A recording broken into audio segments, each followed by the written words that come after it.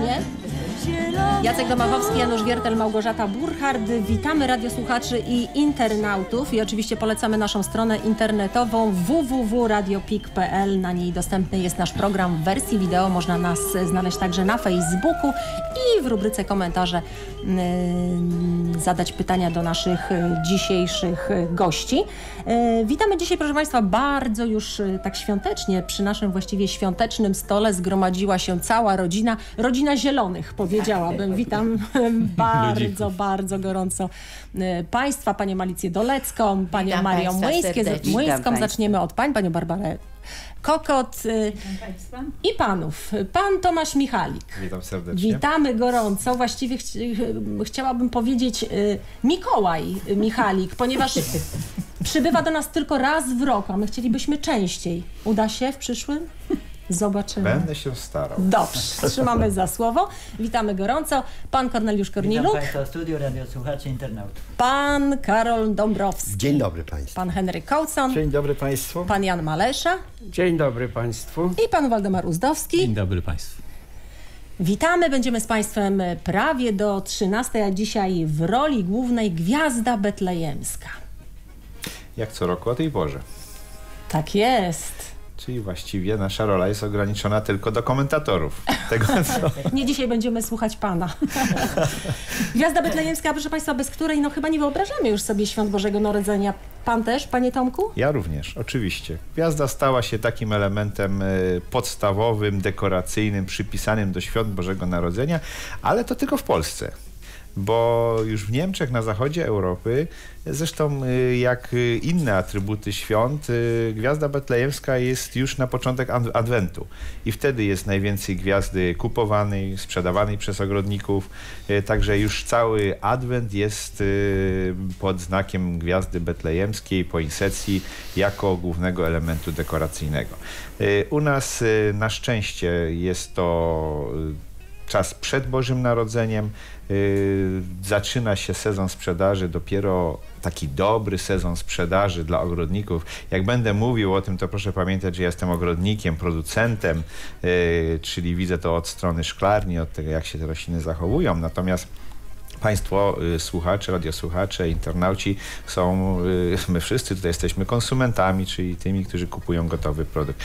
Y, Dlaczego dobrze? Dlatego dobrze, że gwiazda jest rośliną dnia krótkiego i ona y, najpiękniej się wybarwia właśnie i najwięcej odmian wybarwia się na czas końca listopada, początku grudnia. Jeżeli potrzebujemy gwiazdy wcześniej, właśnie na początek adwentu, no to już trzeba pewne try, specjalne triki ogrodnicze y, stosować, aby y, przykwiatki y, wybarwiły się y, wcześniej. Te stryki ogrodnicze to jest po prostu zaciemnianie szklarni, to jest w y, języku ogrodniczym A praca rusza znacznie, znacznie wcześniej, sterowaniem, latem, sterowaniem to trzeba już wy, przygotować odpowiednio szklarnię, a sadzi się te rośliny, które dzisiaj tutaj przed nami, e, przed nami stoją już e, w lipcu. Jeżeli e, ogrodnicy chcą uzyskać dużo większe jeszcze rośliny, bo takie, takie tak zwane soliterowe, duże donice czy duże misy e, produkuje się jeszcze dłużej, bo już e, od połowy czerwca. Y, Taka produkcja wymaga kilkakrotnego y, przycinania tych roślin, formowania, bo przecież y, może część z Państwa słyszała albo widziała, pomału takie rośliny pojawiają się też na polskim rynku. Poinsekcje można wyprowadzać w formie różnych y, takich y, form pokrojowych. Y, Ten standard, ten podstawowy produkt to jest rozkrzywiona, wielopędowa roślina w doniczkę, takie jak tutaj przed nami stoją. Natomiast popularne do dekoracji, szczególnie różnych pomieszczeń i, miejsc ogólnodostępnych są formy na przykład sztamowe, czyli na pieńku różnej wysokości od kilkunastu do kilku, nawet dziesięciu centymetrów z koronką y, na górze kwitnących. To pozwala, nie tak jak dzisiaj tutaj w studiu, że prawie się nie widzimy przez gwiazdy. Widzielibyśmy tylko pieńki i kwiaty byłyby nad nami. Są różnego ty- typu formy piramidalne, są, są y, kosze wiszące.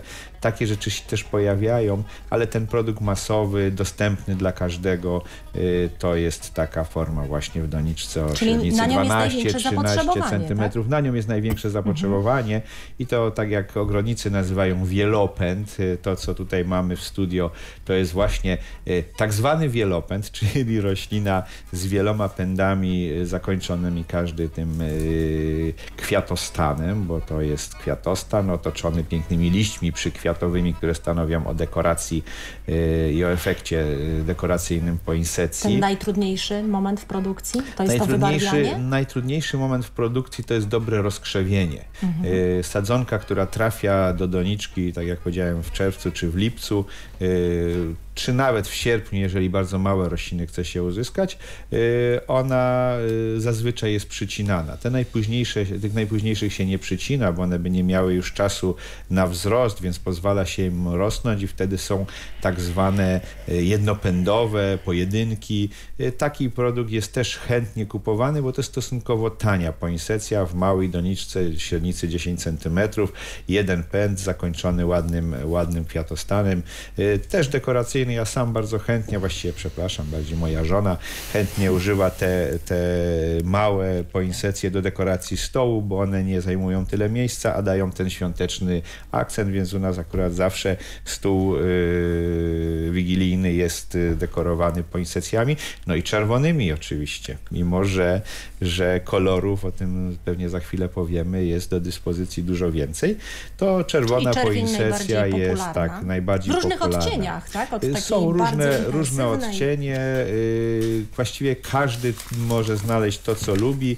Y, Te odmiany różnią się y, w uprawie, dlatego troszeczkę ogrodnicy jakby filtrują tą wielość odmian dostępnych w firmach hodowlanych, ponieważ nie wszystkie odmiany równo dobrze rosną, równie dobrze się krzewią, więc takie czasami bardzo oryginalne niekoniecznie są, niekoniecznie są y, łatwe w uprawie i niechętnie ogrodnicy po nie sięgają. Natomiast y, na co się zwraca uwagę w ostatnich latach szczególnie, y, to jest czy, jak ten kolor przykwiatków poinsecji wygląda przy sztucznym świetle. To już jest ważne w czasie dystrybucji. To wyszło wiele lat temu, kiedy dużo poinsecji szło poprzez giełdy. W Polsce mamy też w wszystkich głównych miastach tak zwane giełdy rolno-ogrodnicze, gdzie te poinsecje trafiały w pomieszczenia zazwyczaj ze światłem wtedy yy, jarzeniowym i część odmian y, wyglądała y, w tym świetle y, sino, brudno, szaro, nieładnie. I tutaj też y, zaczęto na to zwracać uwagę. Dzisiaj też mamy coraz mniej światła żarowego, tego ciepłego, coraz więcej żarówek energooszczędnych, LEDowych i różnego typu innych wynalazków. Y, I tutaj też to światło o różnej temperaturze różnie wpływa na odbiór tej, tej poinsecji. Więc y, nawet na takie rzeczy hodowcy i ogrodnicy muszą zwracać uwagę, żeby to dobrze, dobrze Najbardziej wyglądało. Właśnie tak y, y, y, stawało się właśnie poprzez to światło z czerwonymi poinsekcjami, które właśnie Tak. były takie szare, sine. Głównie z y, czerwonymi, takie, pani Alicjo, Głównie tak. z czerwonymi. Tak. Bo nie wiem, czy Państwo wy pamiętacie, pierwsze poinsecje, jak zaczęły się pokazywać w takich już komercyjnych ilościach, to były y, druga połowa lat 70. Wtedy w Polsce, Polsce produkowano na zlecenie głównie Szwedów y, w kombinatach ogrodniczych w pasie nadmorskim y, sporo poinsecji. To te pierwsze poinsecje były, były y, w takim kolorze marchewkowym intensywnym. Dzisiaj ten kolor nie jest specjalnie popularny. Ten ciepły, mocny, czerwony. Nie, nie kuszę się tu o bliższe określanie y, tego koloru. Pani Alicja na pewno by mnie wspomogła. Y, ale wszyscy w większości Ale co, on Państwo lepiej y, wypadał wiedzą. przy tym tak. świetle jarzeniowym dlatego? Nie, konsumenci, my wszyscy po prostu niechętnie te marchewkowe żeśmy kupowali i takie odmiany są, ale one nie cieszą, nie cieszą się popularnością. Czyli to krwisto-czerwone to już jest zupełnie inna odmiana. Krwisto-czerwony to już jest inna odmiana. No co roku pojawiają się nowe odmiany, ale te różnice różnice pomiędzy odmianami, one mają w większości znaczenie dla ogrodników. Te cechy uprawowe są tutaj ważne, y, a już my jako konsumenci, no to patrzymy zazwyczaj, czy, czy jest to ładne, czy to No jest właśnie, na co nieładne. zwracać uwagę przy kupnie? Żeby nam się podobała i żeby miała wszystkie liście. A ziemia Y, Też nas powinna interesować? nie, nie, nie, nie. To już w tej chwili, w momencie, kiedy rośliny kwitną, kiedy je kupujemy, nie ma większego znaczenia. Oczywiście, jeżeli doniczka byłaby bardzo, bardzo przeschnięta, rośliny podwiędnięte, no to takie y, już ryzykownie jest kupować, bo one nie zawsze wrócą do turgoru, do stanu, y, stanu takiej dobrej kondycji. Y, Czasami się to udaje, ale, ale jest to zawsze ryzykowne, więc jak mamy wybór, to proszę takich zwiędniętych nie kupować. To raczej się o tej porze roku rzadko zdarza, no ale, ale może, jeżeli gdzieś tam w marketach za długo, za długo stoją. Natomiast produkty wyraźnie różnią się na, na, na dwie grupy. Jedne to są produkty, jak zwykliśmy je nazwać, typu premium. Y, Tutaj takie rośliny przed nami stoją, proszę popatrzeć. Y, Ten y, pełność tej rośliny, ilość liści do samego dołu, ilość pędów i ilość kwiatostanów powoduje, że ta roślina no, wygląda tak bardzo bogato. Natomiast ten, ten standard tak zwany marketowy, no niestety wszechobecne CCC, czyli cena czyni cuda, powoduje, że, że ogrodnicy y, też muszą się dostosować do presji kupców y, i y, starać się, chcąc rentownie produkować, muszą jak najwięcej tych roślin zmieścić na metrze kwadratowym.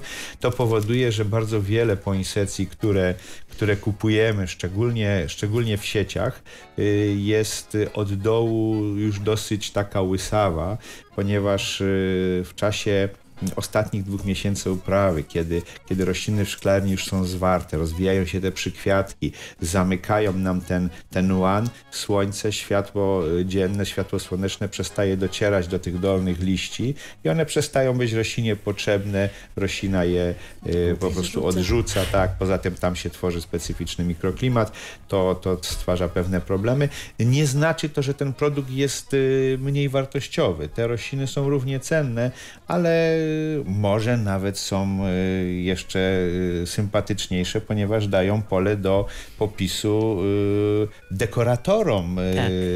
mniej lub bardziej zaangażowanym, czyli można Ale tak dodatkowo... samo wytrzymałe jak te Tak produkty? samo wytrzymałe, tak. One, one po prostu ze względu na tą konieczność uprawy dużej ilości na metrze kwadratowym są, są od dołu już ogołocone z liści. Ten, ten, ta sama historia zdarza się również wielu, wielu z Państwa w domu już po przyniesieniu, że rośliny zrzucają, zrzucają liście. Tak reaguje roślina zazwyczaj na stres, różnego typu stres.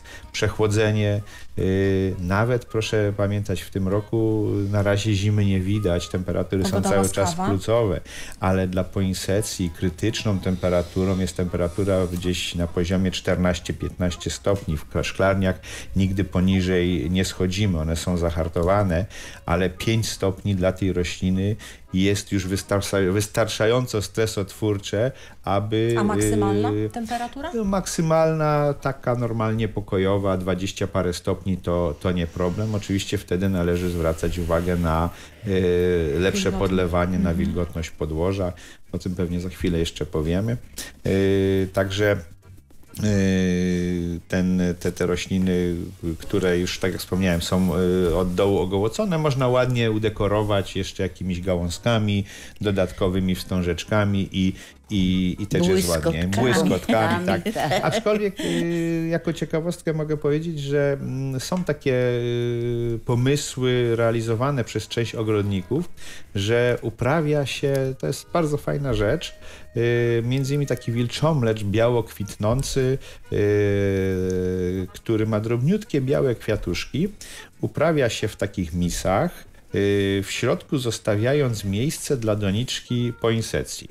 I w momencie, kiedy ten wilczomlecz kwitnie teraz, y, wkłada się, bo to nie można tego razem uprawiać, wkłada się w miejsce tej wcześniej włożonej doniczki już rozwiniętą poinsecję i taką kompozycję y, biało biało-czerwoną y, się sprzedaje.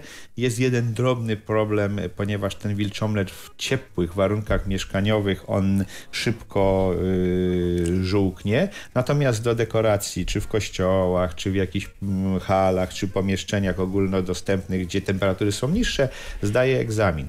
E, Teraz y, koledzy opowiadali, że jak byli w y, zeszłym tygodniu w Holandii czy w Niemczech, widzieli podobne rozwiązanie z białym widzieli podobne rozwiązanie z y, chryzantemami. No i jestem ciekawy, jakby y, tutaj Polacy zareagowali, gdyby połączyć y, poinsetcję z białą, drobną chryzantemką. No nie wiem. Ciągle gdzieś w nas tkwi ten, Tak. y, to, to mocne przypisanie chryzantemy tylko do niektórych Wszystkich okazji. Świętych, No to tak. już się zmieniło Ale bardzo mocno, bardzo ale. Ale szczególnie cięte narodowe. chryzantemy, ale, Ale barwy, barwy narodowe. narodowe. A chryzantemy naprawdę są trwałe i piękne. Więc y, również takie połączenie można zrobić we własnym zakresie, y, kupując poszczególne Mhm. rośliny doniczkowe, inne kwitnące. Dzisiaj to nie są bardzo kosztowne wydatki, y, bo, bo kwiatów y, wszelkich jest, Ale to też znaczy, panie dużo. Tomku, że y, gwiazda betlejemska, poinsecja, dobrze znosi towarzystwo innych roślin. Y, Czy jakiś Dobrze znosi towarzystwo innych roślin w tym czasie, kiedy obie mają być dekoracyjne. Y, Nie mogę tego powiedzieć o możliwości wspólnej uprawy. Zazwyczaj y, poinsetcja jest specyficzna, więc uprawa przez dłuższy czas wspólnie z innymi roślinami y, byłaby raczej kłopotliwa. Zresztą Ale są- dominuje, czy Yy, marnieje, bo nie dominuje, ale to inne warunki, bo inne warunki, yy, inne yy, potrzeby nawożeniowe, inne Mhm. potrzeby, jeśli chodzi o podlewanie, często o substrat. Poinsetcja jest bardzo wrażliwą rośliną, jeśli chodzi o jakość substratu, tego podłoża, który używamy. Yy, Nie lubi zlewnego podłoża, potrzebuje bardzo dużo powietrza w yy, substracie. Tak? Używamy tego określenia substrat, bo dzisiaj w większości są to e, mieszaniny różnego rodzaju torfów i dlatego substraty torfowe do produkcji poinsetcji, ale w ogóle w produkcji ogrodniczej w tej chwili nie używa się y, już w ogóle ziem tak zwanych, różnego typu mieszanek ziem, y, jak to onegdaj bywało, y, ponieważ y, one były zbyt kłopotliwe w uprawie. To już trzeba było wielkiej sztuki ogrodniczej, żeby sobie poradzić. Nawet tutaj nie wiem, jak, Ale różne jak Waldek myśli, samej- jaką ziemię, czy koledzy ogrodnicy, którą byśmy mogli ściówkę pewnie, tak, była najbardziej przepuszczalna. E, ale e, no możemy się tym nie zajmować. Dzisiaj to już nie jest tematem substraty torfowe e, i, i uprawa jest tu kłopotliwa, bo w poinsecji tajemnicą wyprodukowania dobrych y, roślin o pięknych przykwiatkach jest uprawa, jak to mówimy w tym żargonie ogrodniczym, na korzeń. Czyli y, ogrodnicy produkujący poinsekcję muszą największą uwagę zwrócić na to, aby ta roślina y, wytworzyła dobry korzeń. Jak jest dobry korzeń, to potem już cała reszta zazwyczaj y, układa się dobrze. Ten rok, tak, ten, to wszędzie, prawda? Y, Tak jak zawsze mówimy, że y, roślinę y, łatwiej zniszczyć z nadmiernym podlewaniem niż przesuszeniem, bo niszczymy, niszczymy Ale korzeń panie Tomku, ale różne odmiany poinsetcji w tej samej donicy może się udać, tak? Ja chcę Yy, zapytać tak, o to. tak. Różne odmiany cudo. poinsetcji w tej samej donicy Czerwona i biała w jednej donicy, Tak, to jest w ogóle specyficzny przypadek, bo y, no, jesteśmy w radiu, ale radio teraz i multimedialnymi No, możliwościami. Y, Tutaj internecie jest, również. tutaj jest y, bardzo ciekawa roślina, historia, bo to pień. nie są dwie rośliny, to jest jedna roślina. To pokazuje y, dla wtajemniczonych, którzy co nieco wiedzą o hodowli, że ta y, roślina y, pstrokata jest y, mutantem pochodzącym od tej białej albo odwrotnie. Nie chcę się wymądrzeć tutaj, bo nie wiem jak ta powstała. Natomiast większość form barwnych y, wywodzi się od y, czerwonej bądź białej i y, jest różnego To typu mutantami. I tu jest nie, to jest przypadek, po prostu Mhm. przypadek, bo y, mutanty te to są tak zwane mm, chimery, czyli tylko część, część tkanek, y, tylko niektóre warstwy tkanek są zmutowane. I tu mamy taką historię, że o, tu proszę jest- bardzo Waldek, to Jakie nie wiem czy O, w kamerze to nawet widać. Piękne. W której I- kamerze widać? jeden kwiat. Tak, To jest tak. jeden kwiat. Do To, połowy to biały bardzo... I do połowy czerwony. To jest klasyczna, klasyczna chimera, czyli tylko część część tkanek jest zmutowana i w zależności z której partii tkanek w czasie, w czasie wzrostu y, ten kwiatostan się rozwinie, to Czyli tak takie wyszło. są. Tak A wyszło. chcecie, żeby tak wychodziło, drodzy y, to nie przeszkadza, to nie przeszkadza, to są sporadyczne sytuacje, to występuje przy tych odmianach takich y, specjalnych. To się nie zdarza przy odmianach, y, przy odmianach czerwonych, y, gdzie czerwony jest tym podstawowym, pierwotnym Może ja na chwilę kolorem. jeszcze, bo to, Tak. tak. to się nazywa w ogrodnictwie pędy rewersyjne i zazwyczaj one występują u odmian pstrych właśnie. Yy, Podejrzewam, że tutaj podstawową odmianą jest odmiana czerwona, jako że jest zawsze dominująca przy poinsetcji. Tak samo na przykład jest u krzewuszka, których odmian jest bardzo dużo, w tym są pstre. Są na przykład odmiana taka monet, która wielu ludzi zna, wielu, y, którzy mają ogrody, mają też taką odmianę u siebie i tam często występują właśnie te pędy, wybijają pędy rewersyjne, czyli pędy te podstawowe, z której, y, czyli pochodzące od rośliny, z której była odmiana wyhodowana. Tak. I one mają niestety zawsze mocniejszą si siłę wzrostu, bo y, zawsze roślina, która jest pstra, która ma liście pstre, to te liście rosną wolniej, dlatego że tam jest mniej chlorofilu. Prosta fizyczna sprawa.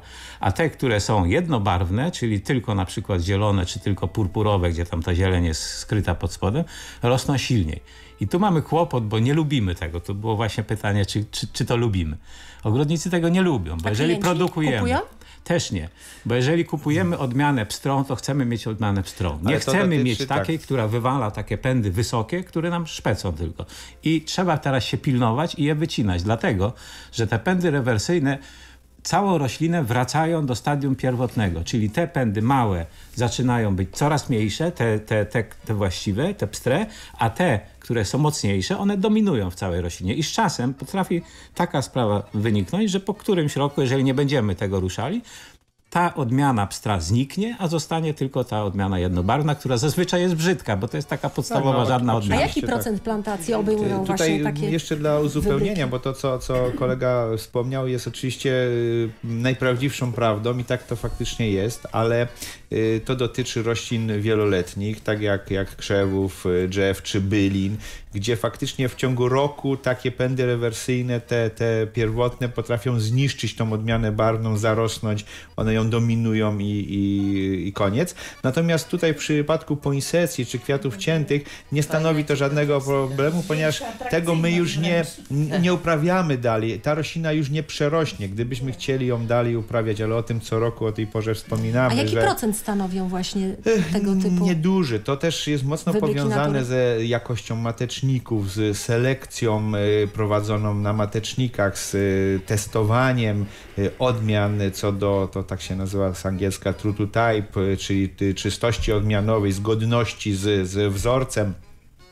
Ten to się cały czas dzieje, ale cały czas też pracujemy y, nad tym, żeby tego było jak najmniej. Natomiast w roślinach nie jest to problemem. Kiedyś był problem, jak rośliny były, również rośliny ozdobne, podlegały rejestracji. Yy, I w rejestracji była, yy, były takie trzy, urzędowej rejestracji były takie trzy parametry, że miała być odrębna, wyrównana i trwała. OWT, takie, takie podlegało to ocenie. Yy, I co się działo? Wiele roślin ozdobnych, które rynek bardzo chętnie przyjmował, bo były jakieś takie popaprane, pstrokate, inne, nie spełniały warunków OWT i nie podlegały rejestracji, bo y, nie były wyrównane, nie były wszystkie kwiaty yy, takie same, yy, nie były trwałe, bo co jakiś czas coś strzelało, no ale życie przyspieszyło, w międzyczasie OWT dla roślin ozdobnych już nie, nie obowiązuje. yy, Ale i- obowiązuje rejestracja. I teraz jeżeli... Ochrona odmian obowiązuje. Ochrona odmian, dobrze. Jeżeli teraz ogrodnik, nawet amator, może wyhodować sobie nową odmianę w ogródku przez jakieś zapylanie i wychodzi, że jest coś rewelacyjnego, całkiem innego niż w ogóle występujące, przejrzy wszystkie katalogi, nigdzie nie ma, może ją zarejestrować. Może. Ale może pod jednym warunkiem, że kilka lat niestety trzeba ją prowadzić i uprawiać i ją sprawdzać cały czas. Właśnie chodzi o stabilność odmiany, bo często odmiany nowe, wyhodowane, hodowla to jest produkcja nowych odmian za pomocą różnych metod, te odmiany mogą być niestabilne, że po jakimś czasie one wracają do formy swojej pierwotnej. I to już nie jest odmiana, to już jest nieuważane za odmianę, jest odrzucona rejestracja, nie może być nazywana odmianą. Odmiana to powinna być roślina, która posadzona na miejsce stałe będzie ciągle spełniała te same warunki, czyli wizualnie y, czy y, jakościowo będzie wyglądała podobnie. Będzie to tak dotyczy samo. przede wszystkim odmian uzyskiwanych y, na drodze y, selekcji i dalszego rozmnażania wegetatywnego, bo jeżeli odmiana powstaje generatywnie poprzez krzyżowanie i ma inny genom y, i faktycznie od początku jest, jest y, inna, no to tam tego powrotu y, zazwyczaj nie mamy. Natomiast dzisiaj... Niemniej, jak mówiliśmy, Eee. producenci takich dziwolągów nie chcą, a klienci zapytajmy.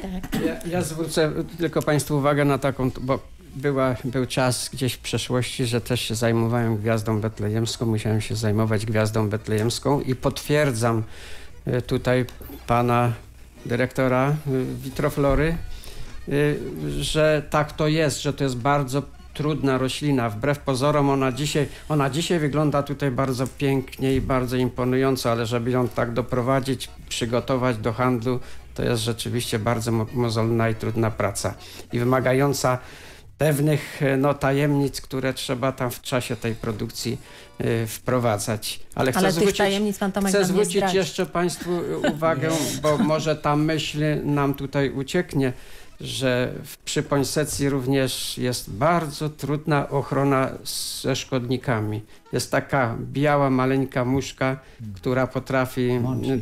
y, y, mącznik szklarniowy, który nie pozwala doprowadzić tej rośliny, jeżeli Państwo na to nie zwrócą uwagę, powiedzmy, że gdzieś będziemy starali się w, w innych warunkach, w złych warunkach prowadzić, to może nam się nie udać. Tutaj jest ta forma walki tak zwanej biologicznej, o której my tu w radiu rzadko mówimy, bo w ogrodach działkowych no, rzadko stosujemy biologiczne metody ochrony roślin, a tu jest wprowadzona ta typowa walka biologiczna. Nie stosujemy środków chemicznych, dlatego że poinsetcja jest taką rośliną, która nie znosi y, po prostu zbyt dużego zasolenia, nie, nie znosi zbyt dużej ilości oprysków, dlatego trzeba uciekać się do takiej Ale jest metody, łakomym kąskiem Na dla szczęście rośliny nie umęczyć w czasie okresu No produkcyjnego. na, szczęście, na szczęście audycja w większości adresowana jest do osób, które teraz y, jako konsumenci y, będą korzystali z tej, z tej rośliny,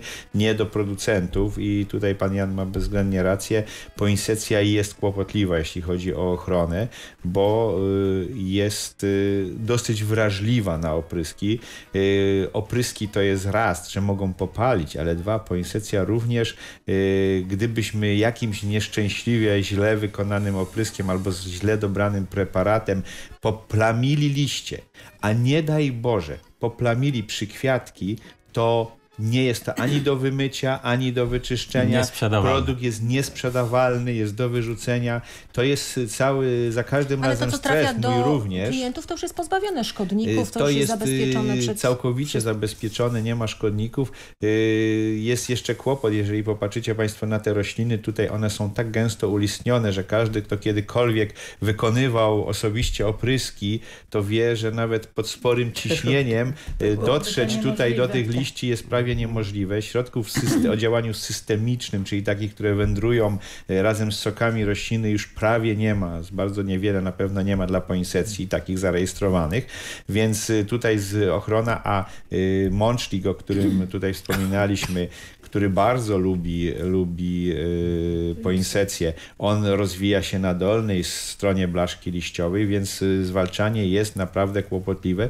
Jak te rośliny już są rozkrzewione, a nie już zewrze się ten, ten łan, czy jak wchodzimy do szklarni, to widzimy tylko, tylko płaszczyznę rozwijających się przykwiatków, można zapomnieć o ochronie chemicznej. Dlatego y, my już od dawna profilaktycznie stosujemy, stosujemy ochronę biologiczną, nawet jeżeli nie stwierdzamy obecności no to przede wszystkim y, w produkcji się stosuje tak zwane żółte i niebieskie tablice lepne, które służą do diagnostyki, czy coś się pojawia. I profilaktycznie nawet y, to, to profilaktyka przy biologii nie jest zbyt mądra, natomiast my nie możemy sobie pozwolić y, na, na żadną, y, tutaj żadne ryzyko, więc nawet jeżeli, jeżeli nie mamy tego szkodnika, to wprowadzamy tak zwane entomofagi. To są y, inne owady, które żerują na tych owadach szkodliwych w różny sposób y, i one y, mają tą przewagę w stosunku do chemii, że to są żywe stworzenia, więc one sobie tam, mówiąc kolokwialnie, łażą i penetrują i szukają, czy coś znajdą. Jak znajdą, no to wtedy fagują, składają jaja albo zżerają, tak jak mówię, mechanizmy są różne. Y, I to jest w tej chwili jakby taki standard, zresztą osobiście bardzo, bardzo duży nacisk kładę na to, aby udział y, działań związanych z biologiczną ochroną był coraz większy. W szklarniach jest to możliwe, w otwartej przestrzeni jest to coraz y, jeszcze ciągle trudne, ale ta dziedzina, ta dziedzina nauki i w ogóle ochrony bardzo intensywnie się rozwija i na przykład y, powszechny problem w ogrodach opuchlaki, szczególnie na tak popularnych dzisiaj heucherach, wielu innych y, roślinach, już z y, pełnym y, powodzeniem można zwalczać preparatami biologicznymi, nicieniami, którymi roztworem nicieni się po, podlewa i one wnikają w te larwy opuchlaków, je po prostu od środka rozkładają i problem się kończy. Jest to czysto biologiczne działanie. Ja myślę, że tych działań biologicznych będzie coraz więcej, a zresztą na pewno Państwo tutaj nieraz na ten temat mówiliście, że wszelkie działania sprzyjające przyciągnięciu ptaków, przyciągnięciu y, różnorodności biologicznej do ogrodów, do, do ogrodów działkowych są jak najbardziej pożądane i wskazane, więc y, temat na osobną audycję. Czy, czy, czy mogłabym y, zapytać o y, pewne rzeczy y, i wypowiedzieć się na temat tej poinsetcji? Y, Obserwuję już od dłuższego czasu, że poinsecja jest takim trwałym elementem dekoracyjnym w okresie świąt Bożego Narodzenia. Trudno sobie wyobrazić dom, w którym y, nie ma poinsecji. Kupuje się dużo i zwraca się na różne rzeczy uwagę. Wysłuchaliśmy prze y, mądrego, przemądrego wykładu na temat uprawy, hodowli, troski o tę roślinę, by y, wytworzyć z niej okaz jak najpiękniejszy, bo przecież wszyscy my, konsumenci, chcemy kupić coś, co jest naprawdę rewelacyjne, co jest piękne, ukształtowane, kolorowe i tak dalej. I ja patrzę na poinsekcję nie od strony właśnie tej hodowlanej, nie od strony zabezpieczającej ją przed y, owadami czy jakimiś chorobami, ale patrzę jako użytkownik, który przy, przynosi ją do domu i y, dekoruje mieszkanie, y, żeby nadać mu jakiegoś takiego dostojnego charakteru w okresie świąt. Żeby, takiego odświętnego, kolorowego, błyszczącego, jeszcze zestawione z różnymi dekoracjami, wygląda to pięknie. I ja na przykład dobieram sobie poinsekcję pod kątem niektórych kolorów. I tak, w kuchni stawiam y, czerwoną poinsekcję, y, no bo ona mi pasuje do wnętrza. Y, W, pokoju białym, tak nazwę, y, stawiam różową, bo tam mi też pasuje jako akcent do innych elementów dekoracyjnych, do wnętrza i tak dalej. A w pokoju, takim salonie nazwijmy to, jest zawsze poinsekcja w kolorze takim biało-żółtym, bo one pasują mi do tego, co ja tam mam, jakie są ozdoby, y, co tam w tym pokoju się znajduje i ta poinsekcja ma podkreślać jeszcze bardziej Charakter tego charakter Czy ona Pani Alicja jest wymarzonym, wymarzonym klientem wszystkich ogrodników uprawiających poinsekcję minimum Tak. trzy sztuki. Pani Alicjo, jestem pełen szacunku. No to może ja jeszcze się dołączę, bo powiem tak. Y, Była mowa tutaj o, że nie zdradzi się tajemnic produkcji. Tajemnice produkcji można zdradzić, bo y, rzecz polega chyba na tym, tak myślę teraz w produkcji, że w jaki sposób produkować, wiedzę teoretyczną można zdobyć bardzo szybko i bardzo prosto i szczegółowo, ale przekucie to w praktykę, to jest właśnie istotna sprawa. A po jest prostu- specjalistą, dlatego chciałem tylko hymn pochwalny wygłosić jeszcze. W zeszłym roku taka sama e, poinsekcja, którą zabrałem, została zlikwidowana w domu dopiero w czerwcu. Do czerwca Wow. jeszcze o dziwo miała te podkwiatki przeżyła. nawet kolorowe, była żółta. Potem robiły się takie pomarańczowawe troszeczkę, ale zdecydowanie inne od tych liści podstawowych. I w dobrej jeszcze była kondycji, no troszeczkę może już zaczęła rzucać dolnych liści. Ale zdumiewająco, bo tak długo miała jeszcze wartości U ozdobne. dobrych ludzi, Bardzo panie ładne. Waldku, kwiaty Ale dłużej rosną. To chodzi o jakość samej, o podstawę, jest, że oczywiście. jakość jest dobra. Mam nadzieję, że moi koledzy i koleżanki odpowiedzialne za produkcję słysz- słyszą nas dzisiaj, bo No. to ukłon w stosunku do nich, bo naprawdę z I brawa. wielkim, z wielkim poświęceniem, tak, y, wiele czasu poświęcili, bo to jest precyzyjna produkcja, a jeszcze ten rok był wyjątkowo, wyjątkowo trudny, bo gorąco było nam wszystkim na zewnątrz, a w szklarniach było szczególnie trudno utrzymać odpowiednie warunki i odpowiednio y, zapanować nad wzrostem tych I roślin. rzeczywiście tr- produkcja była trudna dla samej rośliny, nie o ludziach. W tej chwili Nie, mówimy Trudna dla samej rośliny, ponieważ ten upał, znaczy roślina to lubi, bo jeżeli Państwo jeździcie gdzieś po krajach południowych, to wiecie, że ona sobie bardzo tam dobrze radzi jako dziki gatunek w basenie Morza Śródziemnego czy w krajach ciepłych. Ona wygląda zupełnie inaczej, ta dzika, Meksyk ale tak, no bo ona stamtąd pochodzi. To są potężne drzewa, y, natomiast wtedy one są właśnie potężnymi drzewami, a nie roślinami o wysokości 30 cm, więc jak ona by miała w szklarni 30 parę stopni, to ona sobie z radością będzie zasuwała w górę i byśmy tutaj w ogóle się nie widzieli. Ciekawe, czy wtedy zastąpiłaby po parę choinkę. centymetrów. No, taką formę, taką, nie, wyglądałaby brzydko po prostu. Nic nie, nic nie zastąpi choinki. No bo Nic nie starszy krzew zastąpi zrzuca choinki, dolne natomiast liście. kształt choinki widziałem. to pod Wrocławiem, czy to dzielnica Wrocławia, pan, który amatorsko wyhodował sobie półtora metra. On bardzo o to dba, w zasadzie ma cztery sztuki i wokół tych czterech sztuk chodzi, ukształtowane w formie stożka i ona się przebarwia i no jest taka, taka specyficzna choinka. Wiesz, Na pewno są, są nie- takie produkcje i to ja zacząłem mówić tutaj o sztamowych, o różnych formach. Jest to długotrwałe, pracochłonne, no i niestety y, drogie nasz rynek jeszcze, y, zresztą żaden Nie jest rynek przygotowany nie jest na odbiór tego. zapłacić, bo to by musiało kosztować po paręset złotych taka roślina, to jakieś pojedyncze sztuki pewnie byłyby sprzedawalne, ale nie uzasadniające, żeby uruchamiać produkcję. Ale wygląda to niezwykle efektownie, szczególnie do Ja w pierwszym do momencie myślałem, że to są po prostu zestawione do, doniczki, a on mówi, nie, mówi, to jest żywa roślina, mówi, Jedna przycięta, y, kilkanaście lat to prowadzi i no, udaje mu się utrzymać cztery, cztery sztuki, miał tam chyba około 12, cztery sztuki, które mu się udało utrzymać i doprowadzić do takiego, no, gdzieś koło półtora metra Ja było. to nazywam sztuką ogrodniczą.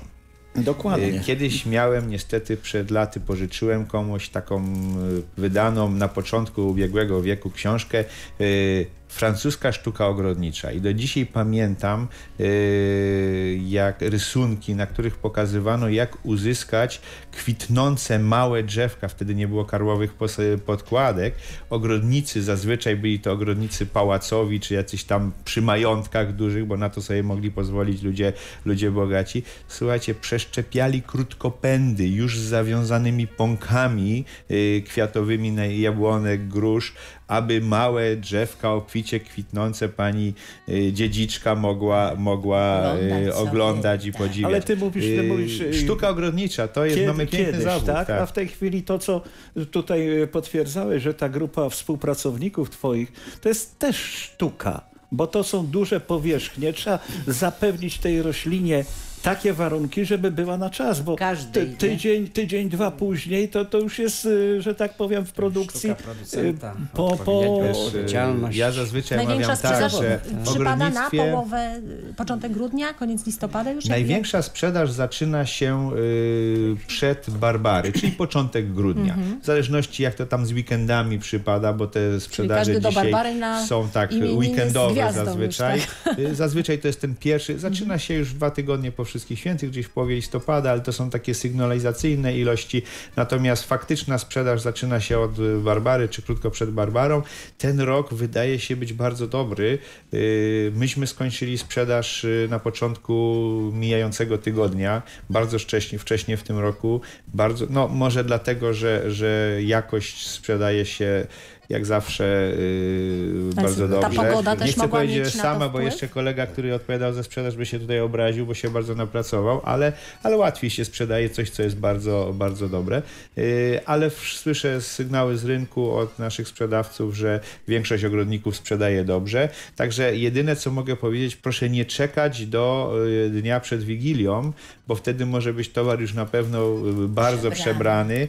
Może się pojawić import, a te rośliny zazwyczaj są yy, gorszej kondycji, chociażby z racji na, na długi transport. W tej chwili w większości na rynku jest poinsecja z polskich ogrodnic, także proszę Państwa, ten weekend i, i przyszły tydzień warto jeszcze się zaopatrzyć. Tak jak yy, wspominaliśmy, te odmiany dzisiaj bez specjalnych zabiegów, współczesne odmiany yy, utrzymują się przez wiele tygodni w yy, mieszkaniu, a jeżeli są dobrze traktowane, to tak jak tutaj kolega wspomniał i do, do kwietnia, maja czy lata można No to w takim razie, panie Tomku, jak traktować Tak, gwiazdę ale ja po przeniesieniu mam- do domu? Ja jeszcze mam niedosyt, bo nie mogłam dokończyć swojej myśli. Nie szkodzi. Ja jeszcze ale ja chciałam się do pani. Ale panie Tomku, ja jeszcze mam balkon. I mnie interesuje. No więc w takim razie właśnie, pani Alicjo, interesuje, Które czy obrazy... można by teraz wystawić poinsekcję na balkon i przed Nie, świętami. nie, no 15 stopni. Jak Yy, minimum te 15 Jasne, że można, ale na dekoracyjny efekt nie, nie, będzie. należy liczyć. Tak. Nie, to jest tak żart. Jeżeli, jeżeli się pojawiają takie mocne akcenty na balkonach z poinsecji, to zazwyczaj są to sztuczne. To które okazy też są pani, ładne. pani Alicjo, tutaj z tych... Pani Alicja się zdeklarowała od czerwona i razu na trzy. Nie, no, Balkony przesada. ogrzewane. Ale A ja chciałam zapytać pana Henryka, przepraszam, e, czy floryści interesują się gwiazdą, wykorzystują? Oczywiście, oczywiście. Floryści bardzo dużo wykorzystują gwiazdy, bo mm, u nas jest gwiazda pojęcie doniczka, natomiast y, również się nadaje jako kwiat cięty. ale Wytrzymuje jest, nie, słabo, jest o krótkim, Właśnie krótszym okresie, dużo krótszym, bo około tygodnia czasu, tak do 10 dni wytrzymuje w kompozycjach. Natomiast coraz częściej jest to wykorzystywane, ale proszę Państwa, proszę spojrzeć na te, na te rośliny, które tutaj są. W zasadzie tu niewiele trzeba dekorować. Łącznie z tą doniczką, która tutaj jest, ona jest już Ozdobna. przygotowana, jest to e, roślina, e, doniczka ozdobna, natomiast na pewno jest wykorzystywana, w duży, szczególnie w dużych kompozycjach. E, Do tego można dodać jakąś powiedzmy, no nie wiem, taśmę jutową, bombkę, szyszkę i już mamy piękną dekorację świąteczną. Także tutaj y, wykorzystanie poinsecji jest od y, y, mieszkania, gdzie ten jednopęd można fajnie udekorować i, i mamy, może nie zastąpi nam choinki, ale, ale jakieś powiedzmy y, w warunkach takich, gdzie y, no, nie możemy wstawić choinki, można wstawić bardzo fajną dekorację z poinsecji do potężnych centrów handlowych, gdzie poinsecja jest wykorzystywana w różnego rodzaju kompozycjach. Jedna uwaga, że to jest wilczomlecz i niektórzy są po prostu uczuleni, Uczuleni, na tak. to mleczko, które...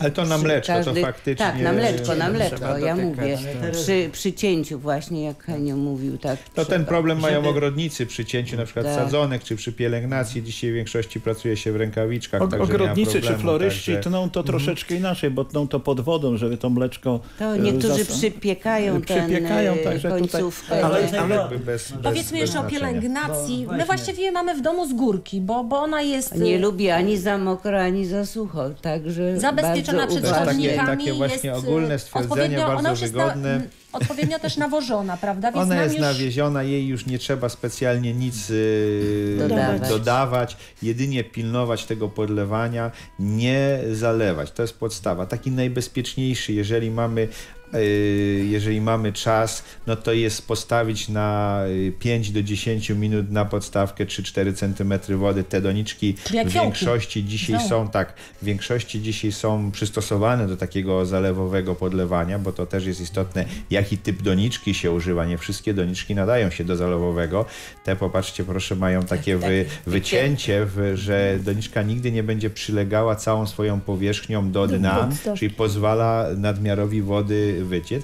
A drugi sposób, jeżeli to proszę Państwa nie y, raz, jak już, jak już mi się przypomni, to wlewam potem pół litra do doniczki, y, nie tędy droga. Lepiej faktycznie y, przy okazji, nie wiem, posiłku czy jakichś takich stałych elementów dnia odrobinkę, po parę y, naście mililitrów y, do, do doniczki, ale stosunkowo często. To w warunkach domowych lepiej się, y, lepiej się sprawdza niż takie intensywne zraszać całą podlewanie. roślinę? Nie, broń, Nie. broń Boże, nie zraszać, y, bo wody też są różne. Zazwyczaj zraszanie doprowadziłoby do, do plam. Tutaj wielokrotnie już mówiliśmy, nie y, kupujemy rośliny y, o ozdobnych liściach, która ma przez wiele lat sobie rosnąć, czy przez wiele miesięcy sobie rosnąć i dekorować.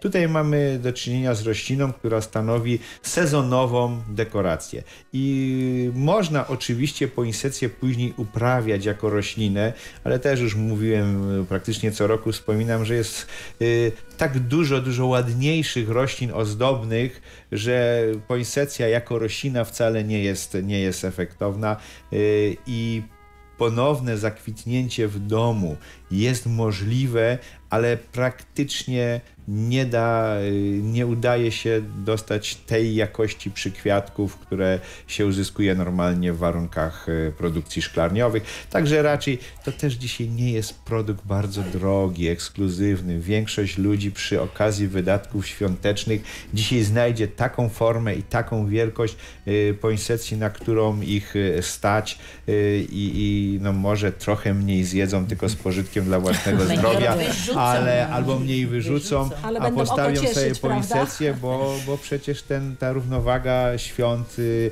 y, duchowo-cielesna powinna być musi zachowana. I tak w naturze one są czerwone i mm, Aztecy nazywają to płonącym kwiatem, także, a to z miłości. A święta te są No świętami ale tu by trzeba miłości. wrócić do tradycji, że ten Także- kolor czerwony, w, e, szczególnie w polskiej tradycji świątecznej, zawsze był wykorzystywany. A Dlaczego? Bo było e, w, poprzed, w poprzednich wiekach było łatwość zdobycia tego koloru, e, wybarwienia czegoś. E, Tutaj szczególnie barwiono, powiedzmy, sokami. Ten kolor daje też ciepło, Tak. I prawda? ciepły, Tak. ciepły kolor w powiązaniu I z kojarzy się właśnie z powiedzmy tym uczuciem. Pani Basiu, który kolor pani najbardziej No, odpowiada? oczywiście tradycyjny czerwony, Czerwony. aczkolwiek w nowoczesnych, y, że tak powiem, kompozycjach mieszkań te formy różnobarwne są jak najbardziej pożądane. I Czyli ten, ten y, określany przez nas wybryk fatury, natury, prawda? jak najbardziej.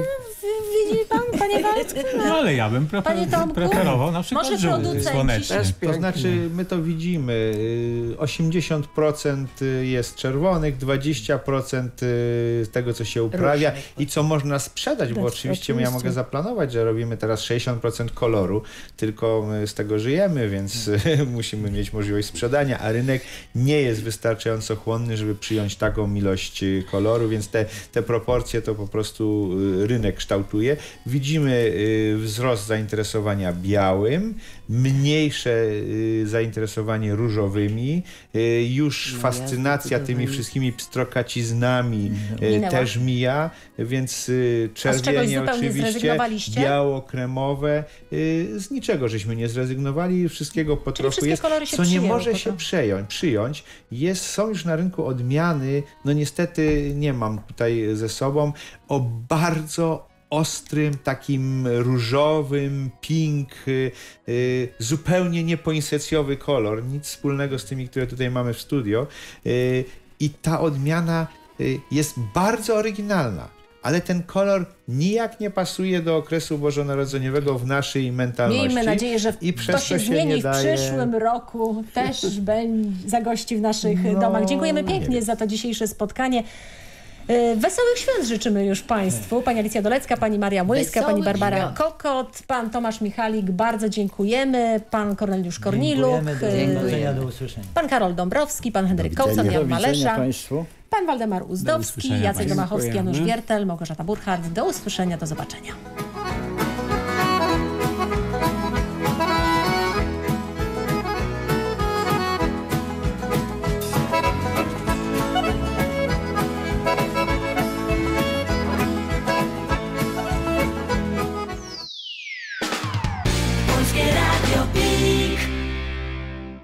www.radiopik.pl